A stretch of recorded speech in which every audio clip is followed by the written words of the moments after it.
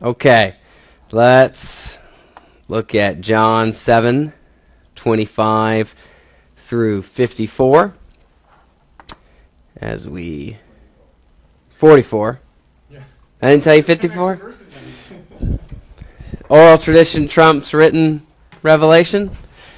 So you've got that. Get it out. I have ben's and both of you emailed me so thank you uh, appreciate your work i also got an email from calvin with his work as well so we're good to go and i appreciate your hard work and before we look at the text itself, you were assigned the reading of the syntax summaries from Wallace. So this is a little bit of a general question, but any questions from that? In the sense of maybe Wallace talked about something that just you just made no sense to you or that was so foreign you wanted it explained or I'm sure there was new material there that you hadn't seen in the sense that when we did syntax last term, we did it with black, and Wallace is much more extensive. I find that to be more helpful. It's more options and hence more details. It's easier for you to highlight a particular usage. So, just any of his usages, though, that you thought I would like something said about this before we continue? The feeling is more like uh, would like to spend time and read his book. Like Yeah. Yeah. Yep, and ideally that would be what we would have done last term. So next next time the class comes around, the goal is to get it in. Unfortunately, that didn't happen. But got the summaries there so you can kind of get the gist of it. At least that'll help. Yeah. Yeah. That'll help, at least having it there. And as we talk through them all, you'll get the relevant ones explained. So, Ben? I have a question about participle. Mhm. Mm-hmm. I think we can do it. Okay. All right. Good. Good. I have a standing confusion with attendant circumstance participles, Okay. but I don't feel it's so, it's not like a, I understand nothing until it's explained. But Right. Sometimes I don't really understand why that one is or isn't. The explanations I've read about why it isn't in this case Mm-hmm. doesn't, I don't get it. Okay. So that's one. Okay. Maybe we'll address that then toward the end of second hour. We'll take enough time to say something about that. So just remind me. Don't let me forget. About 1245. Now let me chance to pull up my notes and highlight the, the relevant material. So, okay, good. So attendant circumstance. We'll remember that. Say something about that. There are none in this text, so you're safe so far. All right, anything else? Uh, I think I even. Do I grade you on that reading?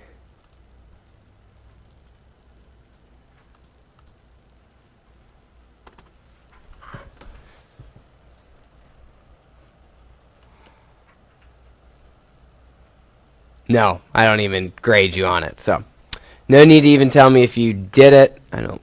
I didn't think I did. So, all right. Uh, second, before we get going, I mean, Roger had a question about how can you speed up the process of parsing, analysis, and translation so as to make this a little quicker. I imagine Roger's concern is shared by all of you that the work of translation analysis takes an inordinate amount of time, at least a lot of time, and you love to do anything you can to save time. So, anything more specific than that, Roger? Maybe a is it the parsing, or is it the analysis, or is it the translation, or is it the entering of the data in a way where I can read it, or all the above? think the entry of the data would be a main thing. If you think about our text has approximately 400 words, hmm you should spend one minute with each. Would be too much, but it's mainly like entering data. Right, right, Just do the, the words that you want right, there would, would be still okay. right, right. Are you having trouble figuring out which words I want? in the sense when I say all nouns, infinitives, and participles, you, you, you do you feel like you have to work through every word to figure out which one is a noun, infinitive, participle? I would be comfortable. Okay, right. Maybe you want it out, it would be different, but Okay, would be, I would say, much quicker. Yeah. Have only those mm-hmm, on the table, mm-hmm, mm-hmm. and then the translation. Right. Others, anybody want to add anything to that? Or so Roger's chief concern is data entry. Um, others, is it the parsing? Is it the translation? Is it the making a decision about what which of these 22 genitive usages it is? Yeah, that's challenging, Mm-hmm. of course, but I would like to spend more time doing that Right. than doing Right. parsing with other words that are not as relevant. Have you? I mean, I've I've told now. Just correct me if I'm misunderstanding what you're saying. I've told you not to parse or analyze or note the ones that aren't nouns, Okay. participles, and infinitives. Yeah, but you got our uh, translation so far, our Mhm. analysis, and I think all of us are doing everything. Right? Mine, mine has gaps in it, like, the text form column doesn't have gaps, but then I don't bother t- typing the lexical form for, like, act, for instance, words like that. If I don't know what the word is, Okay. then I'll type that, Right. that one, but that's more of a vocabulary exercise. for me. Can we have just the word, and if we don't consider, no, that's not Mhm. relevant, just Mhm. have the translation? Yeah. I mean, forgive me if I've not made this clear, but when I want you to translate, that's an English sentence you're giving me. When I want you to analyze, I only want you to parse and analyze nouns, infinitives, and participles. That means I don't need to see de, ek, object to the preposition, etc., on your analysis. You only have to note the relevant words. Good. Ben? And, I, and sometimes I find, I've just started typing, sometimes I find writing is quicker. But I've started to type too, so there's ways to do both quickly. But sometimes if writing is the quickest. Ben? Um, for your email, um, you sent me about my translation Mhm. analysis. Um, There's one thing you, I don't need to write object of, That is correct. do I, can I just eliminate all the words? Yes. Only note, parse, and analyze what I asked for nouns, participles, and infinitives. But that is noun. But if it's the object of the preposition, you don't have to note it. Uh, I don't have to. So it becomes the exception. Exactly.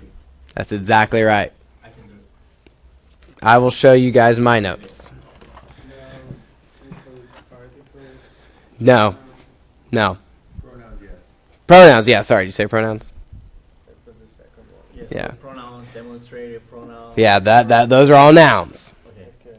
Nouns including pronouns. All kinds. Personal, demonstrative, relative. When an I'll bring it back. plays as a subject, There will there will come some assignments where I will probably have you do articles, but as of now, you, even if it's functioning like a noun, it's okay. So here's mine. All right, so there's verse 25. Now I put un in there because I'm going to make a comment on it, you know, as the teacher. But then notice, 10s, you wouldn't have uk. Again, I'm just going to make a comment on that. So yours would have 10s, hutas, on, and that is an infinitive, so it'd have that too. So verse 25, you'd only be telling me four words, parsing and analysis. In this case, uh, you you wrote the direct object of apo, apocatane Mm-hmm, mm-hmm. Yep. Do I need to write all of them? I mean, Direct object of something or I'm going to ask you in class. If you put it on your sheet, direct object, that's fine, but you notice every time you tell me that, I say of what? Subject of what? So, and notice how I, I've just written it in English letters. That's to save time. I'm not going to go paste in the text in every time I need Greek. I know what the word is, and you'll figure out a system too. If you're handwriting it, it's just as quick. can you send us just one example after? Yeah, yeah, I don't mind doing that at all. In fact, what I do is then this that's a Logos note. Uh, Logos gives you the option to export your notes into a Word document. So there it is. And I will give that to you at the end of Thursday's class once we're all done. And that will give you an example of what I'm looking for. And even in there, there will be some things you don't have to tell me. There are words I'm putting in there because I want to ask you about them. I want to see if you caught the significance. But all you have to do is note, parse, analyze nouns, including pronouns, infinitives, and participles. You've got to translate every word, but you don't have to note it. One more question. Yeah. Um, if the participle is um, substantival, Mm-hmm. um, Okay. When a participle is a substantive, all that really means is the participle is acting like a noun. So tell me, how is the noun functioning? Depending on the case, what's the use? Participles can be in any of the cases. I don't know of any vocative ones. Maybe they're out there. But participles can be nominative, genitive, dative, accusative. So if you're telling me, well, that's a substantive participle, what you're saying is it's a participle functioning like a noun. So now, if it was a noun, you would be telling me what the case usage is. Right, and then of what? Not if it's nominative, is it subject? Is it predicate nominative? Yeah, yeah. If it's a genitive, what kind? Descriptive, objective, subjective. Same with dative, same with accusative. So, good. Is that a hand? No, it is a hand. but- It is a hand, but not not a raised hand. Good point. All right, good. I should maybe apologize for sending out tables that gave the impression, because that's actually, when I did Greek exegesis online, I did every single word. I think I used to require that. So, because I know uh, Dr. Barrett was my Yeah.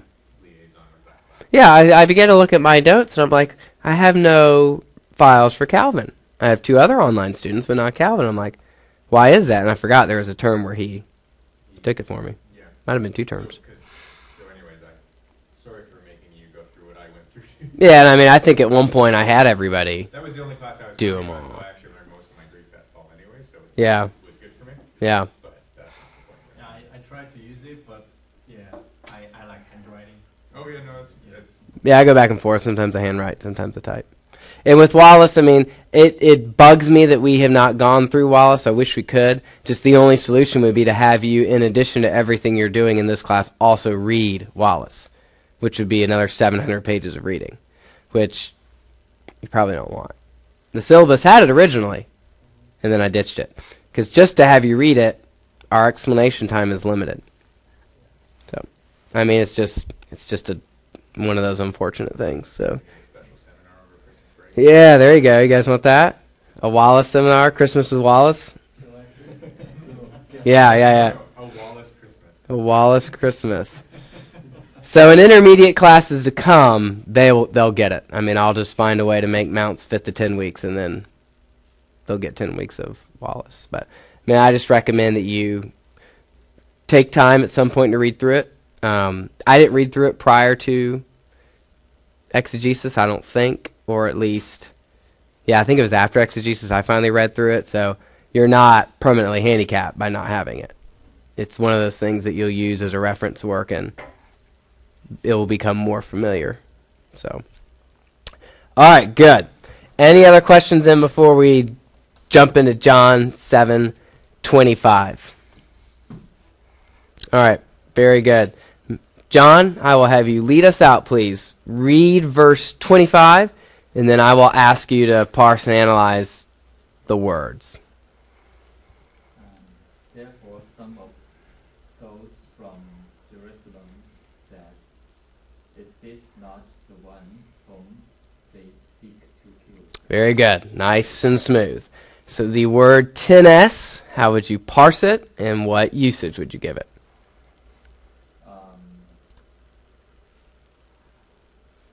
is um, indefinite pronoun is the subject, uh, is nominative, uh, plural, um, masculine. Correct. And just to speed up, if if when I say parse, you can simply give me gender, number, case, and function. If it's a uh, if it's a noun, you don't even have to tell me that it's a uh, relative or indefinite pronoun. Though that's you're correct and that's helpful. Um, but even if you just want to tell me those main things, that would be correct. So it is the subject of elegon. Notice that 10s there in the nominative case is the subject of elegon. It's those who were saying. Ben? Oh, oh, what's the order when I say? Oh, gender, number, case, use. If if you mix it, that's fine. No big deal. Uh, very good, John. What about hutas?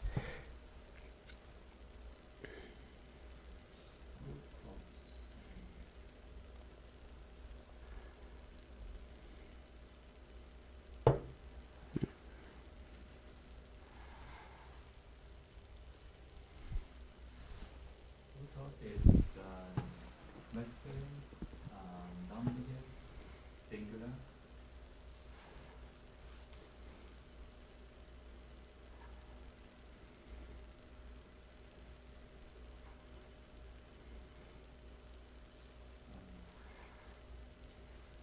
It's definite uh, pronoun. Demonstrative pronoun, not indefinite. Demonstrative. So, yep, this function, usage.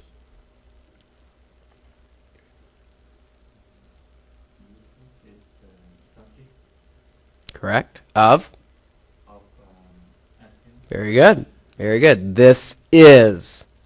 And if there had been another rival word for the subject, this most likely would trump it because demonstrative pronouns take priority when being in what we call equative clauses. Clauses where you have a linking verb. A A is B type sentence. This is the one. So the demonstrative gets priority over everything else. After that, it's articles or articular nouns and proper names tied. All right, good. And how about han there, that relative pronoun?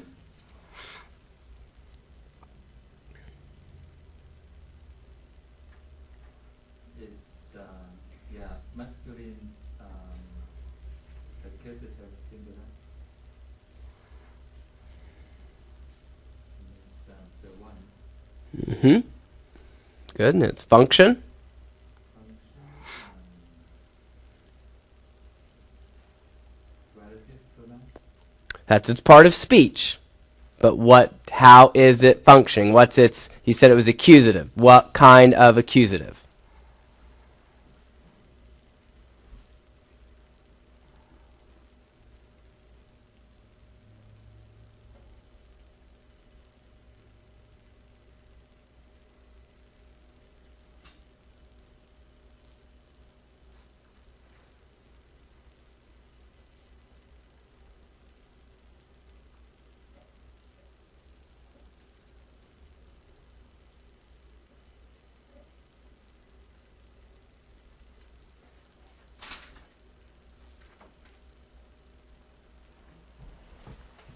Need me to put them up for you real quick?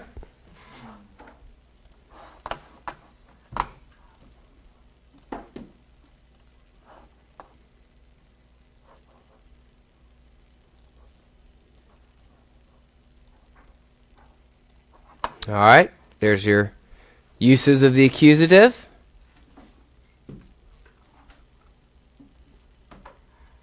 Which of those do you think best describes the relative pronoun han?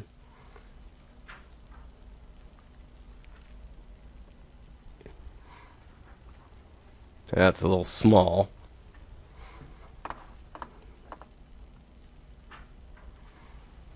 But you have a direct object, double accusative, cognate accusative, predicate accusative, accusative subject of infinitive, accusative of retained object, pendant, apposition, adverbial, basically manner, space or time, general reference, and oaths. That is correct. Very good. Very good. This is the one whom they seek to kill. And keep in mind that relative pronouns, the case is determined by their function in the relative clause. It's referring to Christ.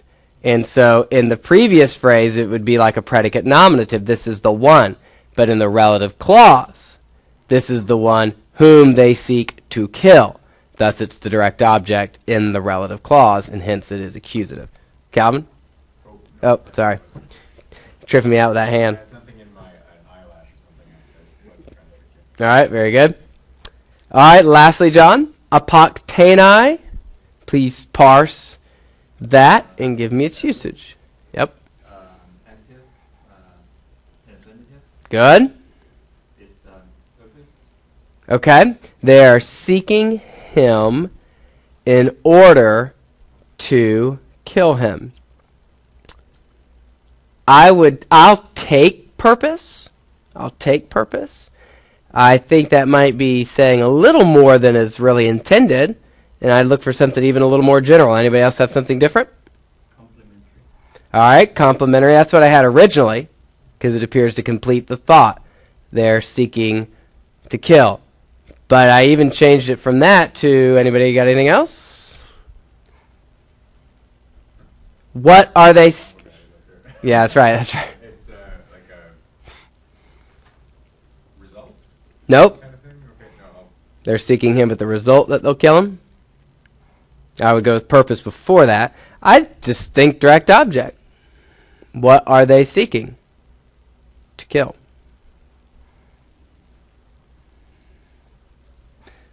The purpose works too. Yeah, yeah, yeah, I do. Tells you what they're seeking. If it is direct object, I mean, do you, do you mean the usage is direct object? hmm hmm How, how is that different from complementary? Is the idea of the verb, the finite verb is incomplete.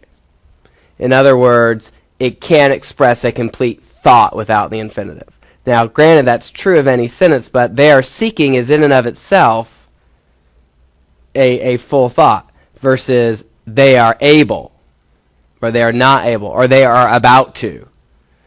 I see complementary being completing the thought of the together they make one idea. Here the the question is asked, they're seeking what? Complementary either exclusively or mostly used with like modal type verbs then, like able to be and want to be and those sorts of things? Uh, I don't know. should we should we pause before using complementary if it's not that kind of verb? Oh, I would say complementary is that it, Wallace uses the phrase supplementary. It's used with helper verbs to complete their thought. Such verbs rarely occur without the infinitive. Okay. So, in other words, It's not, it's not the kind of thing you just stick on. Yeah. He says this structural clue. The key to the complementary infinitive is the helper verb. The most common verbs that take a complementary infinitive are archomai, boulomai, dunamai, epitrepo, zeteo, ooh, zeteo, zethello, mello, and opheilo. So it's either complementary or direct object, but I take purpose too. There's obviously a certain ambiguity here and even fuller meaning in, in that very limited sense. Obviously, they want to find him so they can kill him. But perhaps complementary is best to make the complete thought or direct object.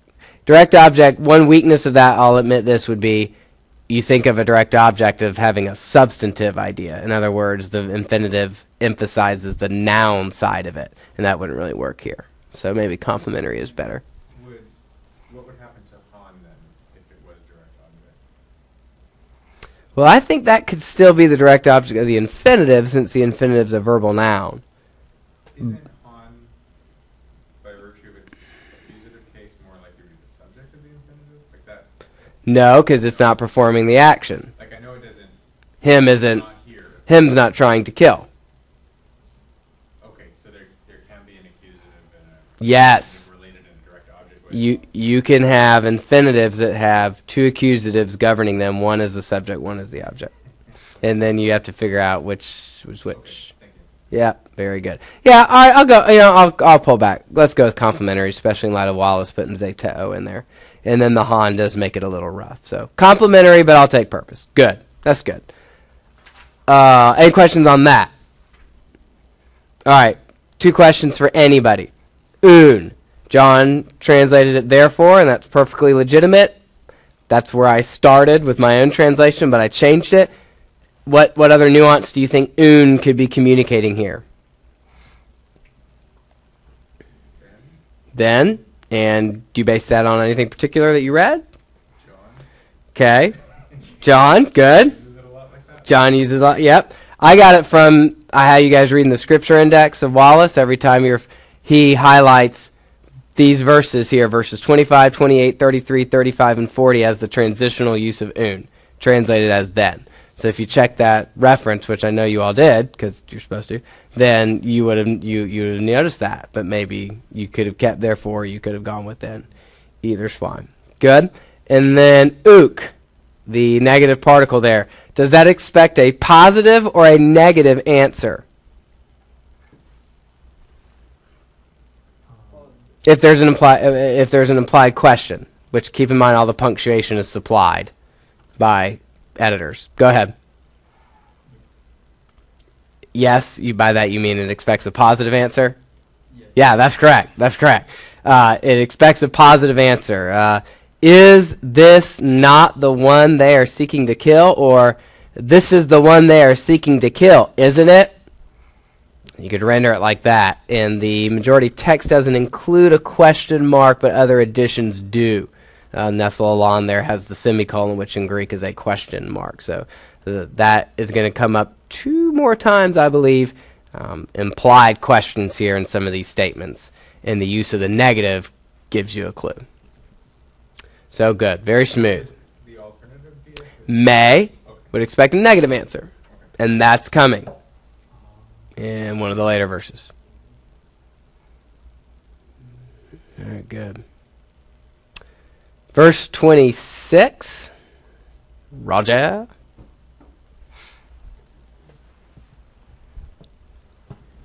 But see that he speaks openly, but they say nothing to him. Do the rulers know at all that this is truly the Christ? All right, very good. And you put, and behold, that he speaks publicly. Any reason you added that?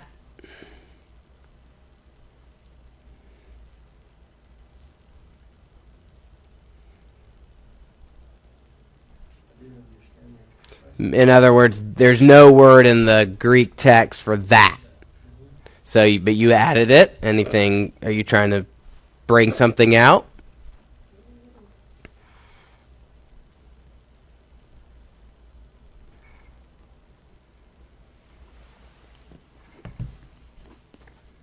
I think the, the, the C there, like it's.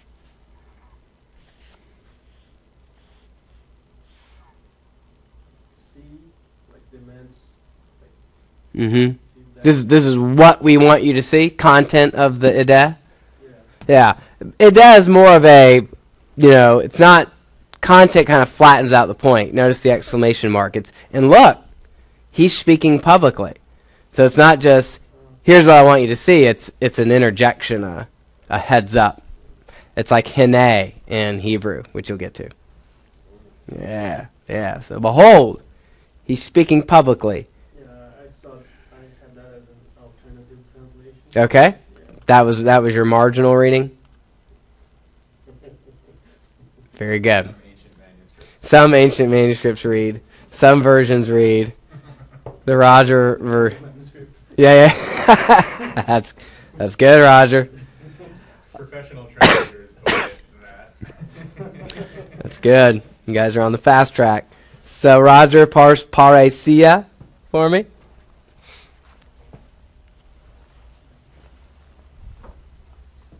Allowing dative singular feminine. Good. Used how? Excellent. How did you translate it again? Oh, good. So you translated it adverbally. Very good. Wallace highlights this one uh, in his discussion of dative of a manner. So good. That's what I like to hear. So yeah, uh, manner. It's how he's speaking. He's speaking not just with openness, but openly, publicly. Very good. Object.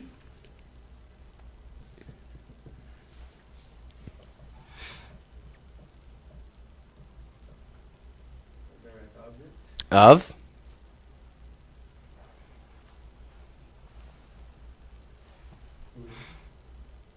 Sorry. Uden, correct. Yep, that's where I'm hunting at. He told me direct object. Direct object of what? Correct. And how'd you parse it?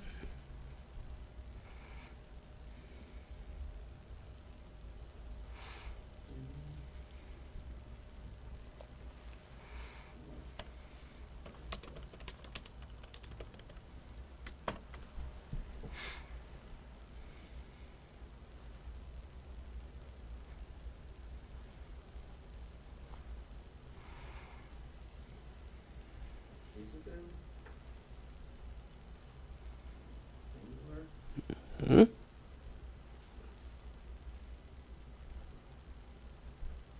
Masculine? No, neutral. Good. Good.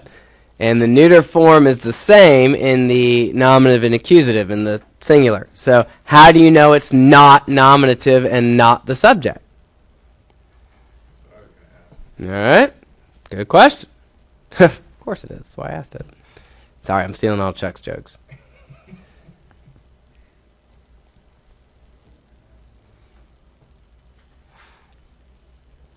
Because it's neuter. If it were, is it, is it true that if it were the subject and it was someone or no one, then it would be masculine or feminine? That is correct. If it's translated as the subject, you get, and nothing is saying to him. That just doesn't make any sense. So, plus what number is the verb legusi? Singular. That's right. Or no, I mean plural, plural, plural. You messed me up there. So, they are saying. So, Udin cannot be the subject of legusi because it's singular, and so. But I liked my translation. Can I keep it? Well, let's hear it. I said, but no one makes a reply to him. Nope. I liked that, Nope. but I know that's not what it actually says. Nope. So they're not saying anything to him. Uden being singular, it also being neuter means it has more the idea of thing than person. Plural verb, it's got to be the direct object. Um, so Uden is the direct object of legusi. That is correct. So legusi is they said to him That's right. nothing. That's right. They are seeking to kill him. Or is not this the one they're seeking to kill? He's speaking openly, but they're not saying anything to him.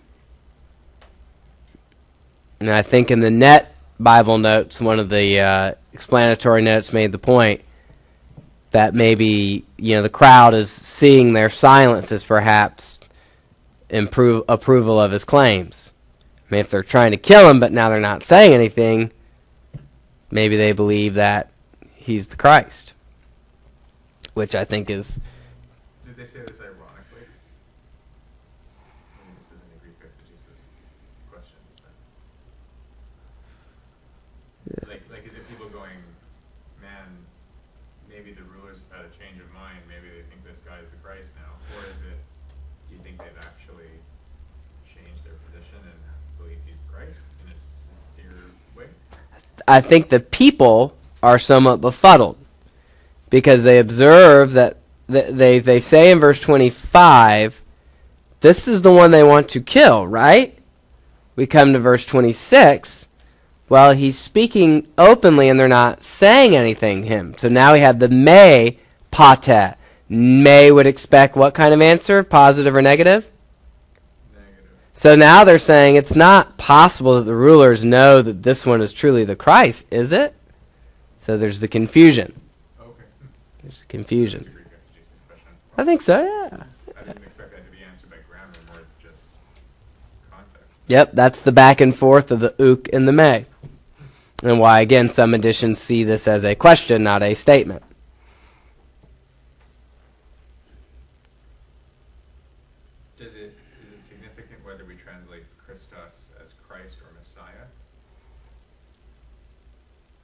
That I mean, that would really just depend on the audience. Uh, you know what what what do the words communicate to the audience? So I mean, obviously, as again the Net Bible Note brings out, Christos, anointed one, refers to Messiah, Mashiach, Hebrew verb, or the nominalized form of the verb, to anoint. So it's their equivalent. It's the same meaning. So Messiah helps bring out the continuity with the Old Testament idea, and thus is a very good translation.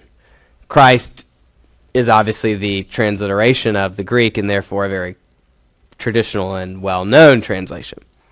But if you want to bring out maybe the biblical theology aspect, you could do Messiah. The personal name mistake, kind of thing, right? Yeah, you would have. Yeah, I think you would want to avoid the idea that Christ is his name, since that is his title. Correct. Good. Other questions? Uh, Roger Altu? No, Alto. Excuse me.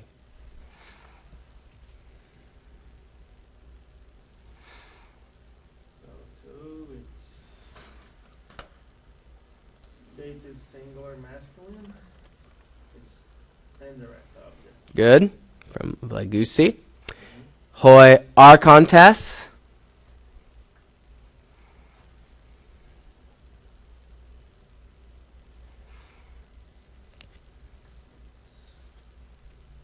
Nominative plural masculine. It's the subject. Correct. Of.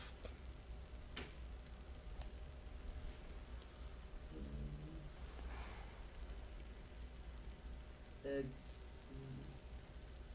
The son. Correct. Hutas.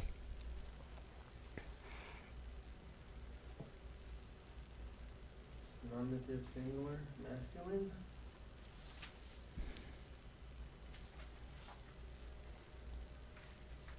Function.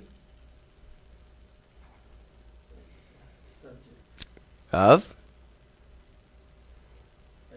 Good. And what is the predicate nominative? Assuming there is one.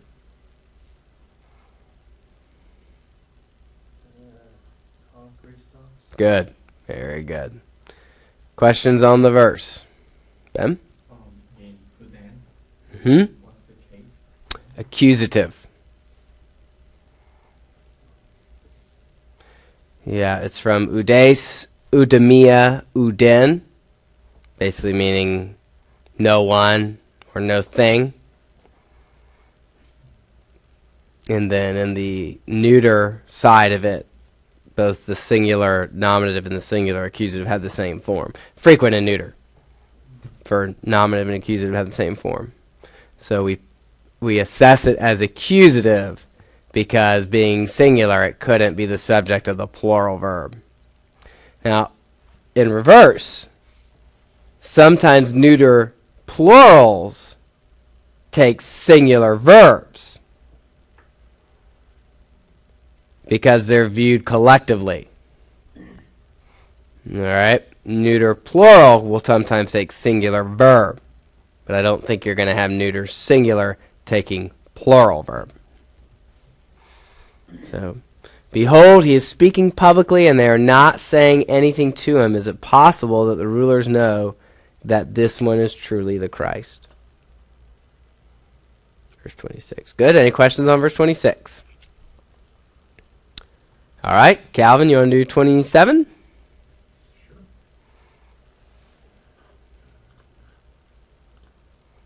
But we know where this man is from, and when the Messiah comes, no one will know where he is from. Good job. Teuton. Uh, yeah, a masculine accusative, singular, and it's direct object of. That's right. We know this one, or we know this man. And we know what? Where he is from. Uh, ha Christos, you got an easy verse.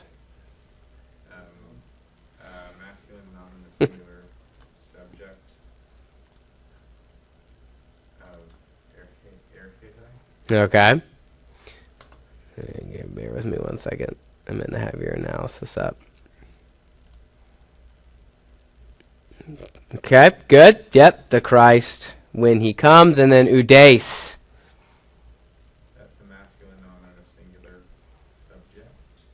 Uh, In those cases. That's right. So now here's the masculine Udes, and here it is as the subject. This one is nominative, and I, uh, the accusative form wouldn't be the same.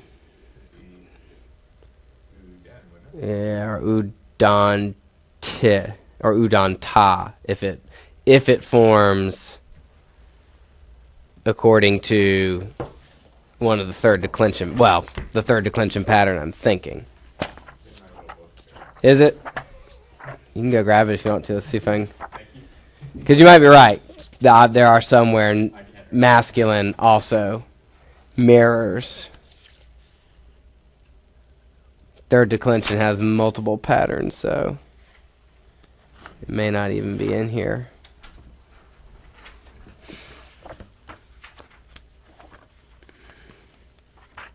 See if you can find it first. 234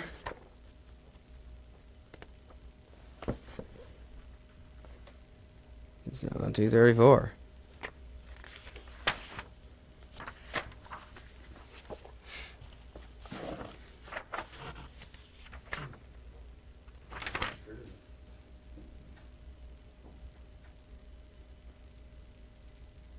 Oh, that's how many times it occurs. It's in chapter 10.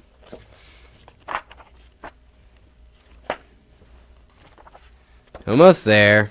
Chapter 10. Which I think is the first one with third declensions. Yes, it is.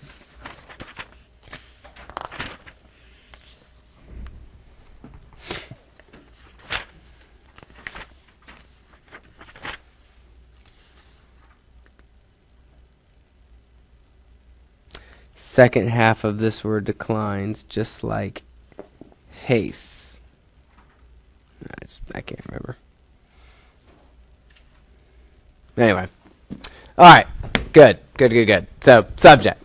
So, we know where this man is from. So, in contrast. No, not, not in contrast. Not in contrast yet. That's in the next verse. So, they're trying to figure out whether or not he is Messiah, and they bring out this statement. We know where this man is from. Okay, let's hold on. Look at this real quick at the beginning of verse 27. Uh, we know this one. Why do you think? Now you told me this direct object of oidamen. How did you relate pathen estin to Allah tuton? Oidamen. Read me that your first part of the verse again. But we know where this man is from. All right. We know where this man is from. Now that's frequent that's frequent in translation and that idea works and there's there may even be a grammatical rule that justifies it. But based on what I'm looking at w- when I hear you say that, we know where this one is from. This one becomes the subject of estim. But what case is Teuton? Oh, hmm. Uh, okay, no, that's kind of a, a loose English rendering of what my Greek analysis. was. Okay. All right.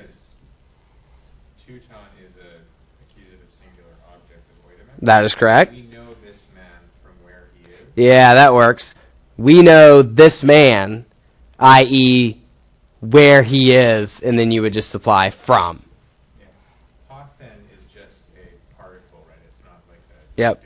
Or it's like an ad. It's like an adverb modifying estin, I would think. Yeah, but I, I didn't look up like a case or for it. No, no, no, you wouldn't do that. Yeah, it's indeclinable. Yeah, yeah, you're correct on that. So yeah, so notice that we know where this man is from works, and again, that that's frequent in. Uh, If AB is, you know this man where he is from. yeah, that's kind of the closest to the to the formal structure there. Yeah, this is an interrog- interrogative adverb. Pothin. So I might go with that. We know this man. Well, what do we know about him? We know where he is from. So it is not English. We know this man where he is. That's correct. You can do that in English, but it's not exactly what the Greek is saying. But it is the same idea. That's what they're saying. We know where he's from. That's the main idea. That works. How, how is Pothin Eston related to Teuton? Is it kind of a pivot thing where Teuton sort of becomes the informal subject of Eston again? I mean, I would just think it's giving you the content of what they know. We know this one, but what do you mean? Where he is from. Yeah, yeah. Maybe even what are those? Quotation marks. Or i.e. i.e. We know this one that is where he is from. Which is a problem for their messianic theology because so they say when Christ comes no one will know and then notice there again Pothin Estin. No one will know where he is from. So notice udes there is connected to gnoske, and then you have the same adverbial phrase. No one will know what, where he is from. Which in the Net Bible Notes observed, not sure where that tradition came from, because it's it's not based solidly on the Old Testament. The Old Testament states he'll be born in uh, Bethlehem, and that you know the the wise men were able to discern that. You do have statements in other prophets about the Messiah appearing, so maybe they were interpreted to mean he appears out of nowhere. But the idea is there's there's nothing to justify this as a correct assessment of, of messianic theology, and that the views of intertestamental Judaism weren't monolithic and they weren't always correct. Does Gnoske maybe have more than like a cognitive meaning there? Could it be more like he's one of us? He's from the same kind of place that we're from. We know the sorts of places he came from. Uh, he's too normal in a way. Like I'm sure Yeah, that would. logically that's the general idea, but is that I don't know if I base it on Gnosko. okay? Not Gnoske. Yeah, exactly.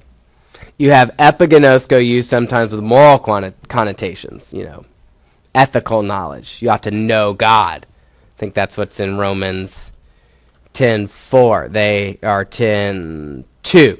They have zeal for God, but not according to knowledge, epigenosko. I, I translate that as they are zealous for God, but they don't know God. So, so yeah, B's here is like, we know where he's from, so he can't be Messiah, right?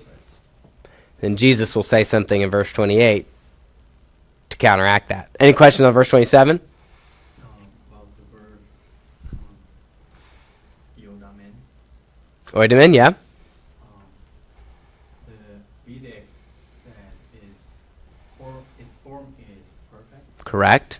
but it's using is used like present tense. Correct. So how can I translate it like present? Yeah. Yep. We know. Yep, we know. It's in uh, Mounce here. Says same thing. Find it real quick. Oida. A strange verb. Oida actually is a second perfect form functioning as a present. By the way, when he puts uh, the perfect form for, you know, those little columns there, uh, a dine, what's in the perfect column, is actually a no, no, no. What's in the aorist column? Sorry, is actually a pluperfect functioning as an aorist. So perfect in form, functioning like present. Pluperfect in form, functioning like aorist. It's like everything's shifted to the left. He goes, just memorize the forms. If you want an explanation, see Morphology of Biblical Greek. Yeah, yeah, it is. Good thing English doesn't do this, right? You also want to be careful that you don't get oida mixed up with the aorist form of horao, which is what? I did this. Oh, yeah? To see, idon. Yep. Yeah, I had that the whole way through, and I was like, hang on. Yeah, that's something I write here. I can't remember. You have idon there in verse 26. Behold. ida. Drop the epsilon because it's present imperative. All right? Or aorist imperative, sorry. All right, very good. Actually, let me look at one more thing. Calvin, since you got an easy verse, I'm going to give you verse 28.2 to satisfy um, Roger's sense of justice. All right. Okay. All right, go ahead. Roger's sense of justice is a little overworked in my he was he was giving me the evil eye. 28. There's a history there. Oh, it, oh yeah, you Canadian guys. Yes. No, no, no, no, remember? Always I get the longest. That is true. Providence has Um, not been kind. am I- okay, I just want to make sure I know where that.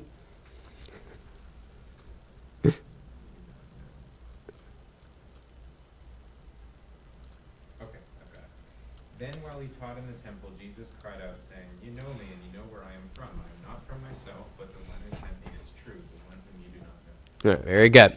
Parse for me, good translation, and we'll. There's a few areas I'll say something about, but let's parse first. Then we'll come back to the sense of the passage.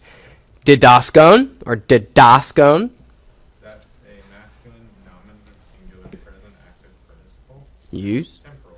temporal. Very good. So Jesus cried out while teaching in the temple, and notice that didaskon. It's nominative. It lacks the article. The subject is the same as the main verb. The one who cries out is the one who is also teaching. So all the ideas that need to be in place for an adverbial participle is there. So then when you start looking at your different nuances, really time just works the best. Jesus cried out by means of teaching. That's how he cried out, or he cry he used teaching to cry out is the idea of means. Kind of like I hit you with a hammer, which I won't do. But he cried out by means of teaching.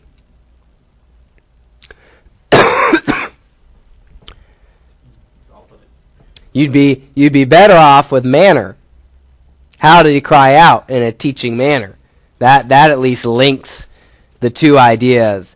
But that's where it gets awkward because crying out and teaching aren't referring to the same thing. But rather while he is teaching, he cries out and says what we read in the next phrase. So crying out and teaching are not the same. Correct. That is correct.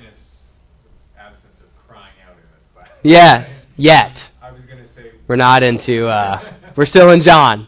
would, um, would the aorist of kradzo or kraxon make the point as well that the punctiliar verb sort of interrupts the continuousness of the participle, or is that just coincidence that that's the case? Two things. I would shy away from saying punctiliar in association with aorist because that's not always true. Oh, I only meant in this case. Oh, in this case, good. All right, very good.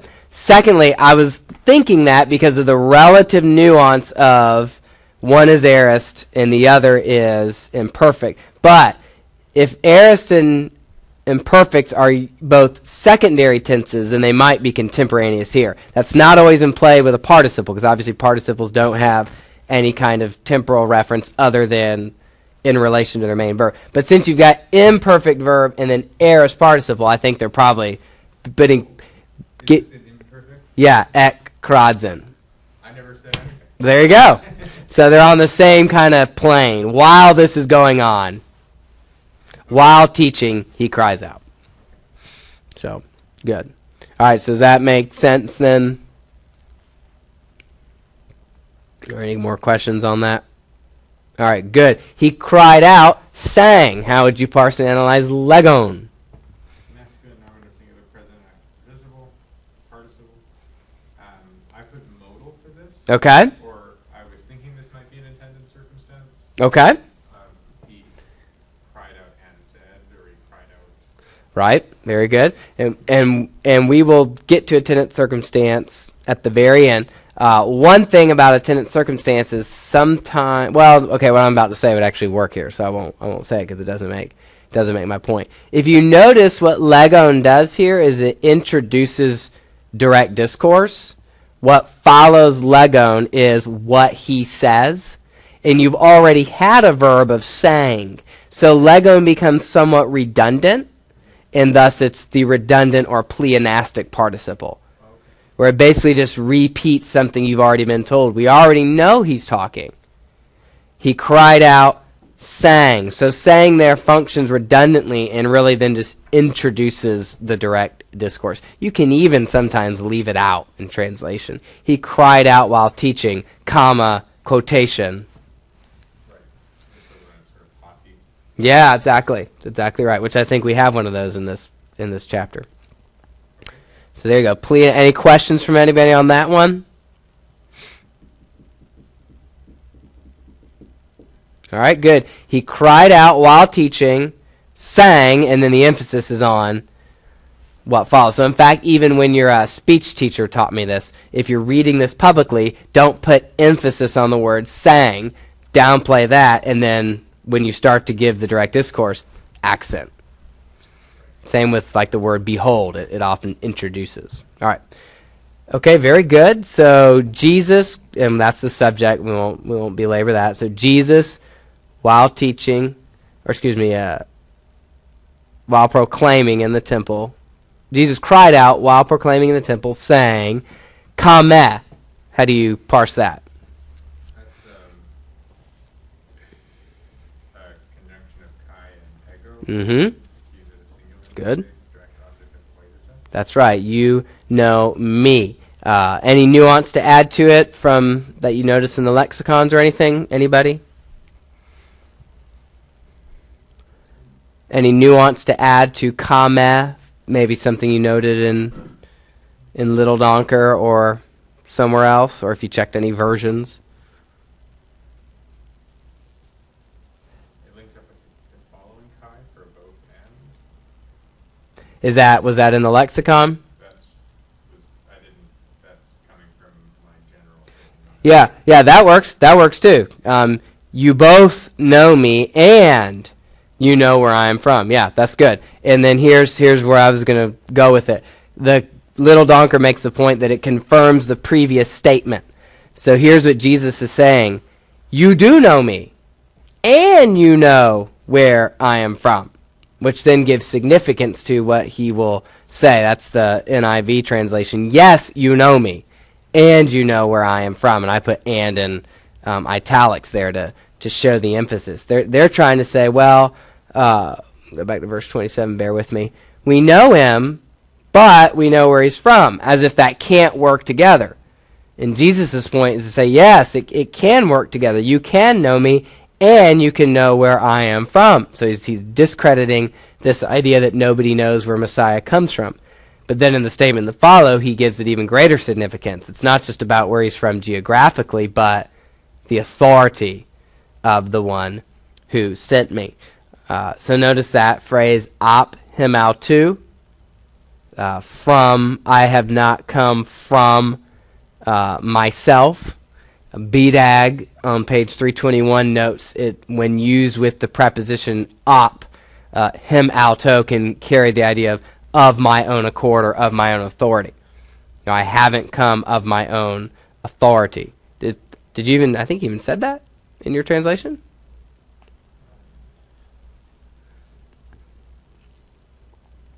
I am not from myself. Okay. All right. What I said.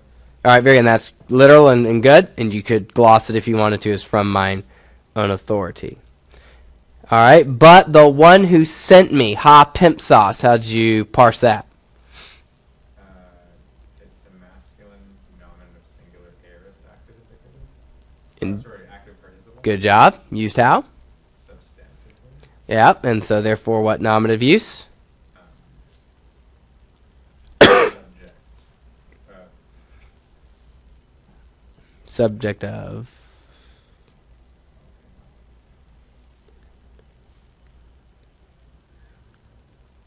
I'm getting lost between my translations in one part and the charts in another. Mm-hmm. Um, And it's it's. subject of S. That's right. That's exactly right. The one who sent me is true. Uh, and then, so ma there, direct object, the one who sent me is true. And then the relative pronoun whom, hon, how do you uh, parse that? That's right. Whom you uh, also know. All right, very good. Uh, sorry, thank you. Excuse me. So Jesus cried out while teaching in the temple, and you have oun again. This could be another one of those consecutive uses of oun. So then, not therefore, not a conclusion, but then Jesus cries in the next step in the narrative. Then Jesus cried out while teaching in the temple and said, Yes, you know me, and you know where I am from. And here's what he goes on to say about where he's from that I have not come on my own authority, but the one who sent me, i.e., I have been sent by the Father. He is true. And then this phrase, whom you do not know. So that's what the problem is. The problem isn't that you don't know where I'm from, the problem is you don't know the one who sent me. Questions on uh, verse 28?